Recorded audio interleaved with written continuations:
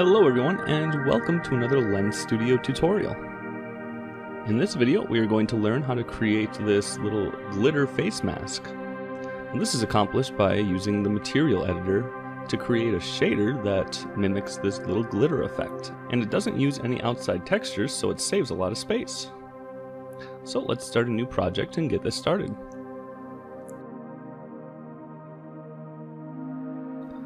First, let's add a face mesh.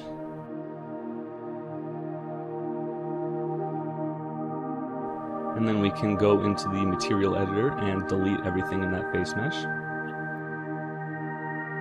And the first thing we'll add is a random noise node. And then we will add a surface UV coordinates node to attach to the seed. And then when you plug that in, you'll see it's just kind of like different pixels with different uh, colors from black to white. So let's add a float parameter to control the scale of the noise. And then let's enable the min and the max, and we'll set the max to about 350. And then you can slide it around to see how big or small it gets. And then let's just copy this random noise node two times, and we'll plug in the scale and the UV coordinates to those as well. So if we plug in each of them, you'll see that they're the exact same. And what we want to do is make them a little bit different. So let's first add a rotate coordinates node so that we can rotate them about 45 degrees. Then you'll see that it's actually more kind of like a diamond shape. So now let's make these a little bit more randomized. So we'll add a multiply node and attach it to the scale. And let's just multiply it by 0.9 so that's a little bit smaller. And we'll copy that, put it on the top one, and multiply that one by 1.1 to make it a little bit bigger.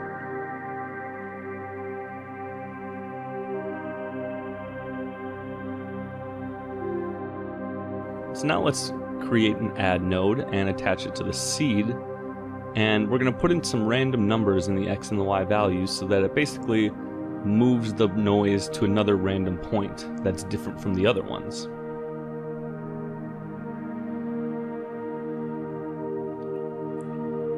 Now let's multiply these nodes together so that we can mix them up. Now when we output that, you'll see that it's mixed up more.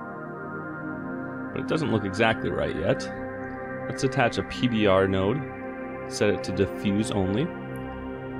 And let's actually put this in the emissive node. And then we'll change the albedo color to black, so then we can see how it's actually kind of mixed up.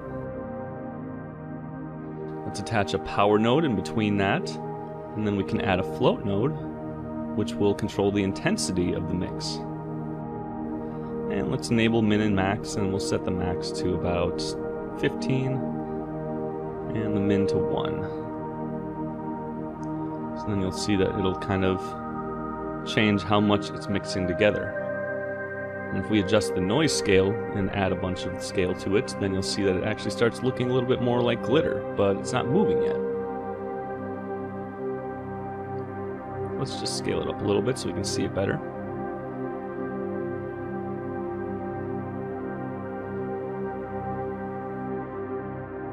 So now what we're going to do is add a time node so that we can start moving the glitter. So let's multiply this time node by 0.01. And then we're going to add that into the current seed, so you'll see it's starting to move a little bit.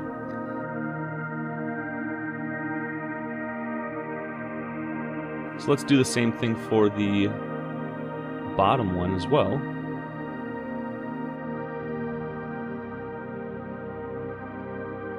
And then let's multiply this by negative 0.01. So now it's looking a little bit more like glitter.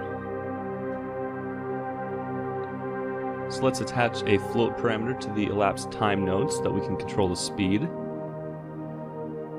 And we'll set the minimum to 0.1, the max to about 10. So now we can change how fast the glitter's going.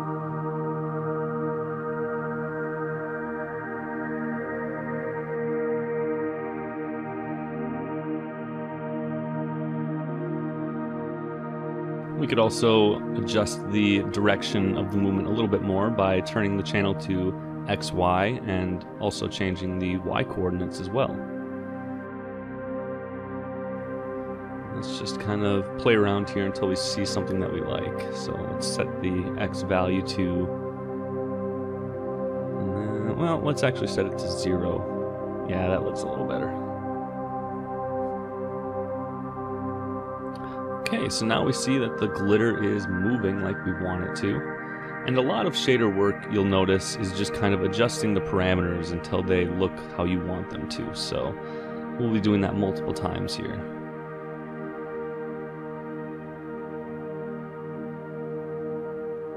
And let's uh, set the blend mode to add so that we can actually see what the glitter will look like.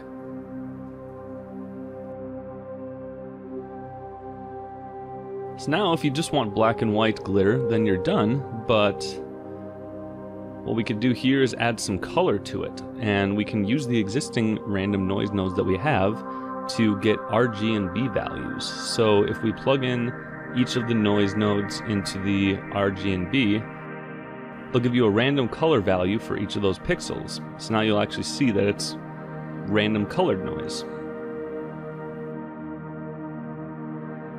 So what we want to do is create a blend node and then blend those two together. And then we'll set the blend mode to color.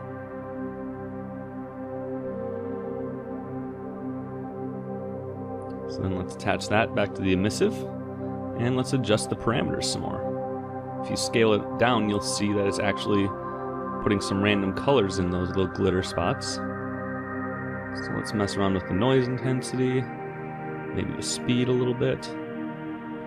Now we have some colored glitter.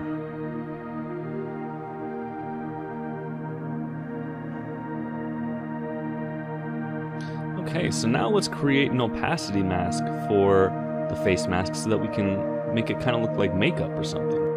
So let's add a 2D texture parameter so that we can add different images to it. We'll just call it opacity map. Now I'll show you some examples of masks that I've created. So that one kind of looks like a little eyeshadow. And it doesn't look exactly right because what we need to do is split that vector.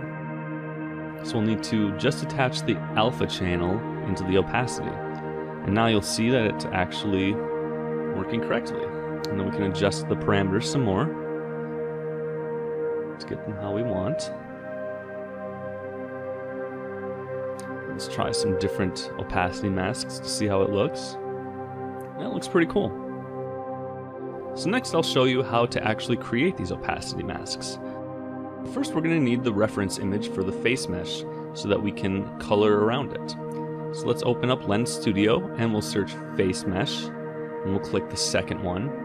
And then if you scroll down, you can click on the face mesh guide and then scroll down some more and you'll see the image that you can download.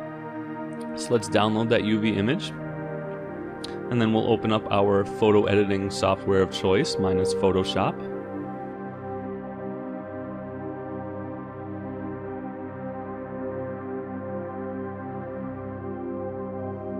Okay, and then let's open up that UV image. And you'll see that it's kind of hard to see the actual mesh. So let's create a new layer, drag it down to the bottom, and then we'll just fill the background with black so that we can actually see it. Okay, so now let's create a brush and so I'm using this speckled brush which works really well with the glitter. So let's create a new layer and we'll use white to start drawing our little mask. And if you want to use symmetry, you can just click the symmetry button and make it vertical, and then we can draw on both sides simultaneously. So I'll just draw some random stuff in here just to show you how it works. And then when I'm done, I'm going to disable the other two layers and then just export it as a PNG image.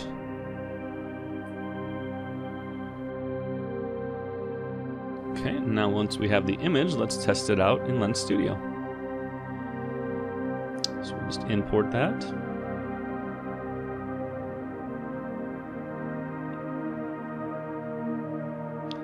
And let's try it out.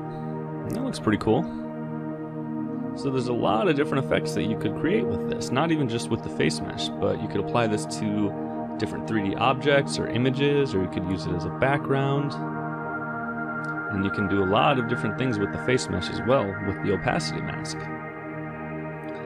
So that about does it for this video. If you have any questions, feel free to leave a comment. And as always, go ahead and share your creations with me. I'd love to see what you can do with this. Alright, happy creating everyone!